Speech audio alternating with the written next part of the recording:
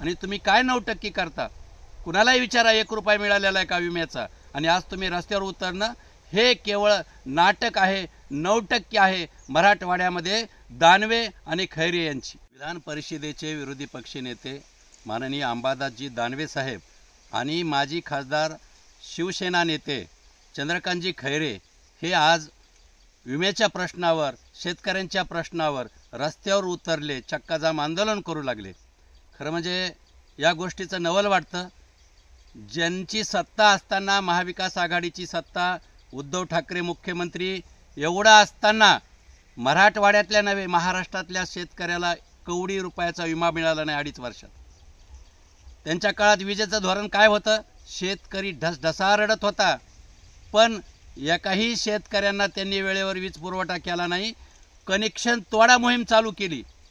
त्यावेळेस रब्बी हंगाम गेला अतिवृष्टी झाली तरी शेतकऱ्यांना वीज मिळाली नाही. आणि आज ह्यांची जी नऊ टक्की चालू आहे आज बघा शिंदे आणि फडणवीस सरकारनं क्रांतिकारक निर्णय घेतला.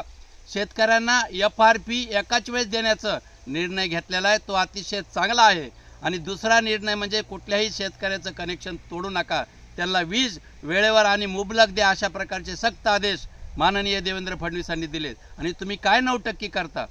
कुणालाही विचारा एक रुपया मिळालेला आहे का विम्याचा? आणि आज तुम्ही रस्त्यावर उतरणं हे केवळ नाटक आहे नऊ टक्के आहे मराठवाड्यामध्ये दानवे आणि खैरे यांची.